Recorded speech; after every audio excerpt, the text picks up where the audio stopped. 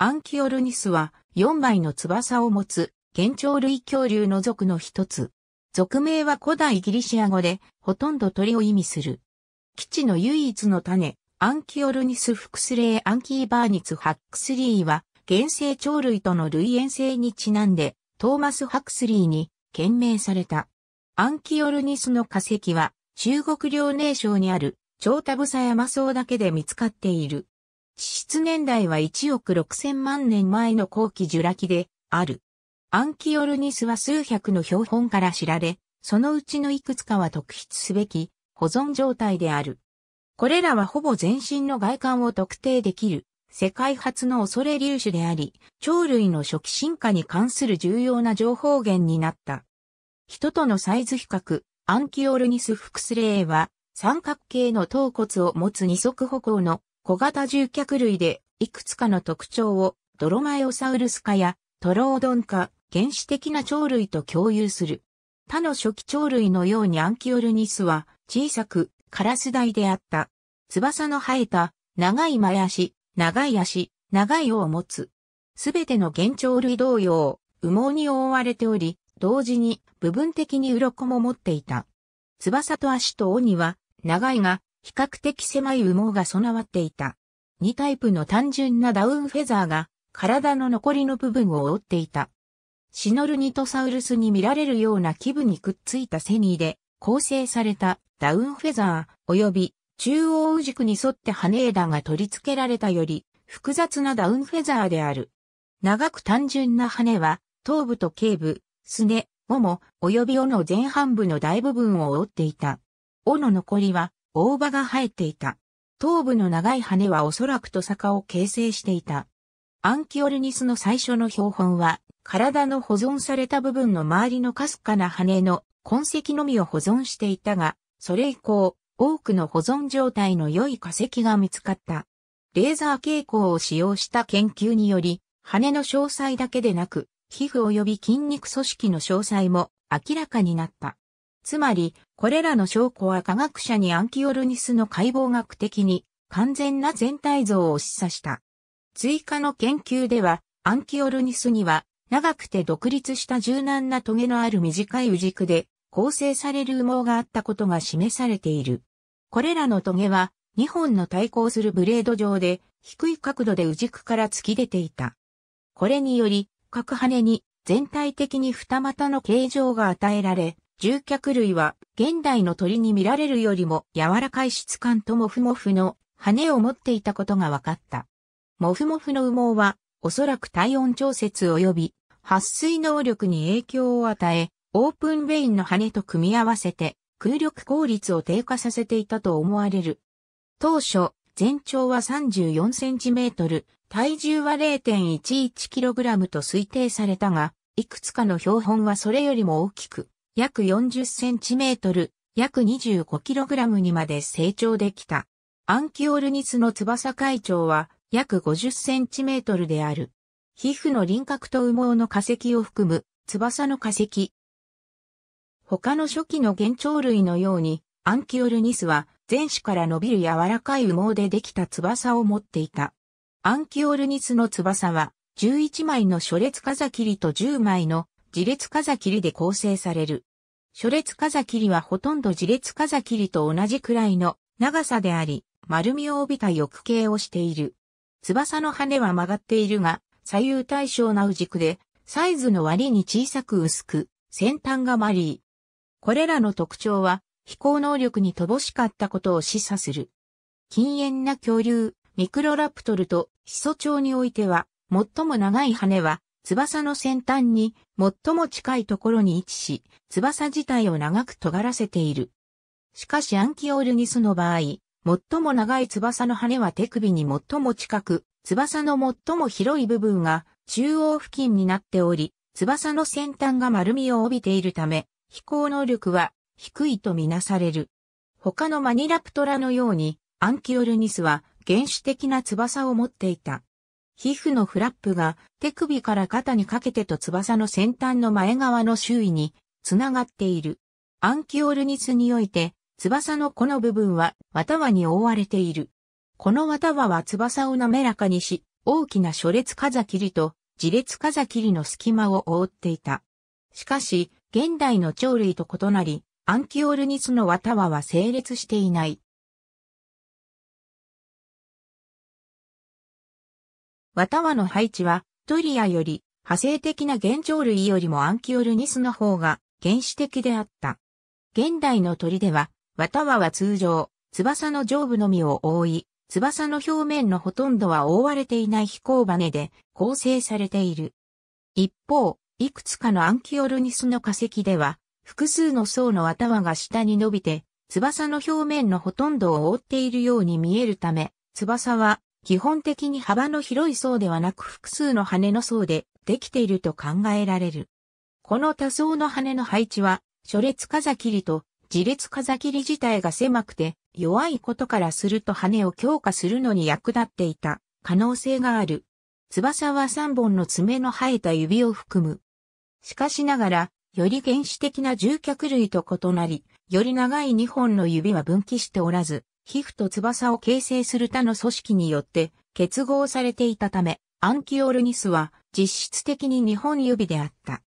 この結合された指は主翼の基部を支えるのを補助する皮膜より、後ろ後ろの部分、または皮膚の皮弁及び他の組織に組み込まれた。つま先のように、指の腹側の周りの皮膚は小さな丸い鱗で覆われていた。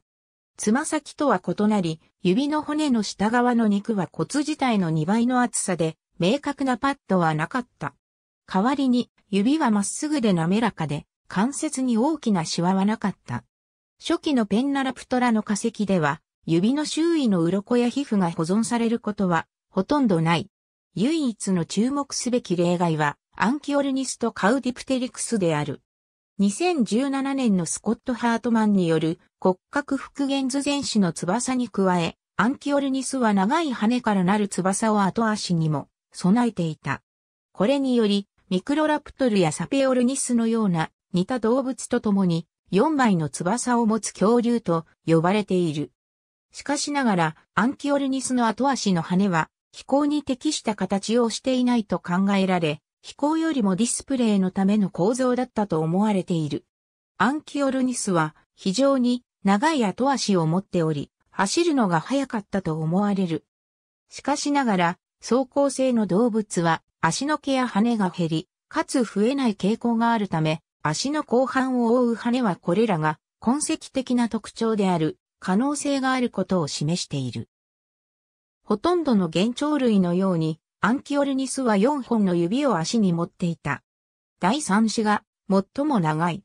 第1子は枝に止まる種の鳥類のようには対抗していない。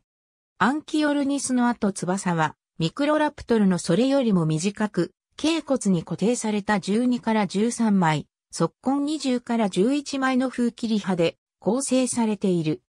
また、ミクロラプトルとは異なり、あと翼の羽は筋位において最も長く、足の羽は短く下向きで、足の骨にほぼ垂直だった。他の原鳥類と異なり、アンキオルニスの足は完全に羽毛に覆われていた。ただしその羽毛は後、翼を構成する羽よりはずっと短いものだった。いくつかの標本は足先やすねの鱗を保存している。このことは、羽毛と鱗が同じ箇所に同時に存在していたことを示唆している。足指の裏側には肉質のパッドがついていた。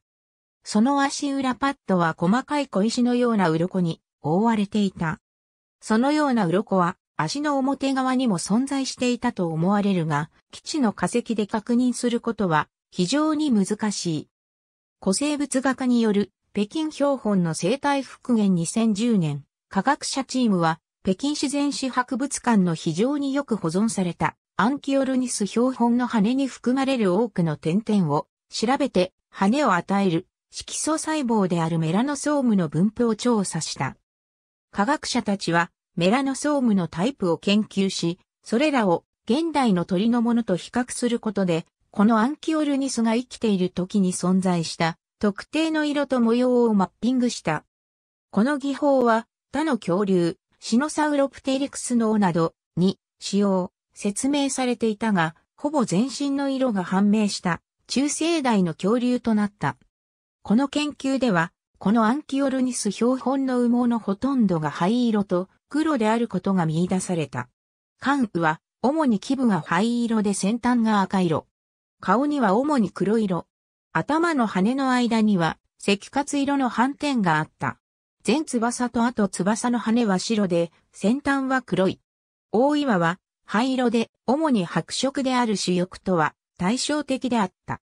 翼のより大きな大岩も白色、または灰色、または黒色の先端で、翼の中央に沿って暗いドットの列を形成していた。これらは外側の翼に暗い縞模様、またはドットの列の様相だが、内側の翼にはより不均一なブチの配列があった。すねは長い後翼の羽以外は灰色で、足とつま先は黒色だった。2015年、ユージョホッシル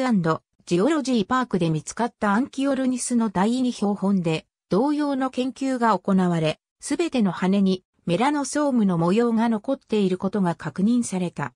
2010年の研究とは対照的に唯一灰色のメラノソームのみが発見された。缶を調べた時でさえ、赤活色のメラノソームは見られなかった。この2番目の研究を実施した科学者は、この矛盾についていくつかの可能性を指摘している。まず、メラノソームの保存状態が異なる可能性や調査技術が研究結果に影響を与えた可能性がある。第2に、北京博物館の標本が小さかったことから、アンキオルニスは成長、または老化するにつれて、色素が置き換えられた可能性がある。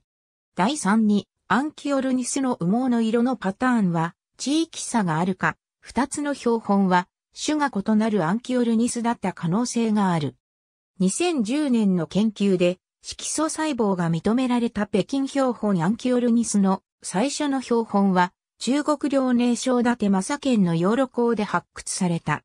その地層は年代測定が難しいが、ほとんどの研究では、超田房山層はジュラ紀のオックスフォード紀と推定されている。女性らによる研究と記載は2009年にチャイニーズサイエンスブレティンで発表された。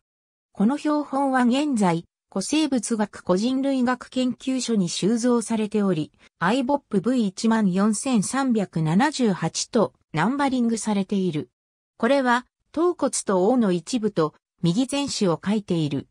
第2標本は、地元の農家によって信用主犯大学の科学者に提供された。農夫によると、この標本は大生山の近くで、第一標本とほぼ同じ地質年代の長田房山層から発見されていた。二人の科学者がこのサイトを訪れ、新しい化石とそこで見つかった岩の種類を比較し、新標本がおそらく農夫が述べた地域から出たものであることを確認することができた。彼らはいくつかの魚の化石とアンキオルニスの第三標本を発掘した。農夫の化石は研究され、2009年9月24日にネイチャーに記載された。それは、遼寧古生物学博物館に収蔵され、LPMB00169 とナンバリングされた。それは、第一標本よりも大きくより完全で、獅子の羽もよく保存されており、ミクロラプトルとの類似性を示唆していた。北京標本のカラーパターンに基づく M. マーティニークによる生態復元詳細に記載されているのはわずかな標本だけであり、多くの他の標本は未同定のまま個人、または博物館のコレクションになっている。それらのうち一つは、王を書いた、ほぼ完全な骨格であり、羽毛印象も良好に保存されている。これは2010年に報告された。この化石は、アンキオルニスが頭に関羽を持っていた証拠である。またこの動物が生きていた時の色に関する研究に使用された。これは北京自然史博物館に所蔵された。標本番号は BMNHCPH828 である。タイプロカリティで発見された他の標本の一つは地元の化石業者によって発掘され、エビスス化石地質学公園に売られた。標本番号は UTZIP-T5199 である。この化石は完全に近い骨格で地質学公園の科学者によって防湿、研究され、アンキオルニスであると特定された。これは、操作型電子顕微鏡を用いて羽毛の微細構造が研究された。この研究ではよく保存されたメラノソームが調べられた。その研究に携わった科学者たちは、この標本で見つかった色素が BMNHCPH828 で報告されたものと異なることを発見し、BMNHC 標本は実際にはアンキオルニスではない可能性があることに気づいた。ありがとうございます。